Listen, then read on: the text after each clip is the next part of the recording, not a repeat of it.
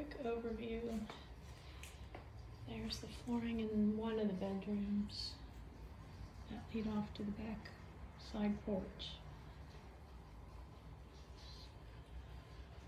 So it does face 31st Street, but layout is strange. So I'd call that the master. Back here, there's a one bedroom there, bathroom, and then your bigger master in the back.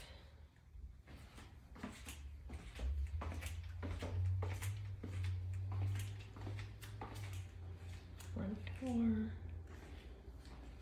living, kitchen, eat-in. Okay.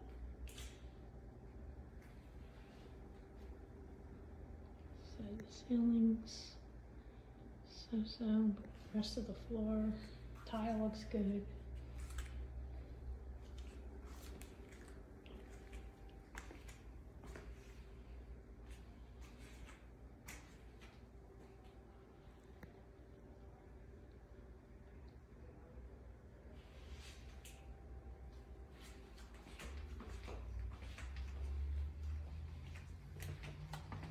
That's it.